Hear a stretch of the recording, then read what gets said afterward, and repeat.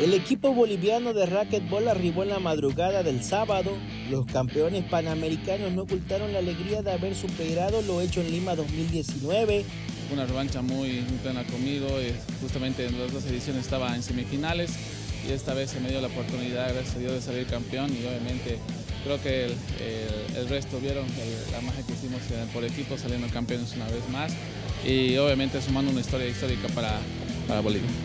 Bolivia logró sacar cinco medallas en esta disciplina, a la cabeza del número uno del mundo, Conrado Moscoso, que concedió las dos únicas de oro. Bolivia es potencia en racquetball, lo ha demostrado, tenemos al número uno del mundo. Para mí estos dos, eh, Carlos y Conrado, son los dos mejores jugadores que hay en el mundo, ¿no? no cabe duda de eso, y Bolivia es una potencia sin duda. Ahora los deportistas se enfocarán en encarar el tour profesional del racquetball. Sports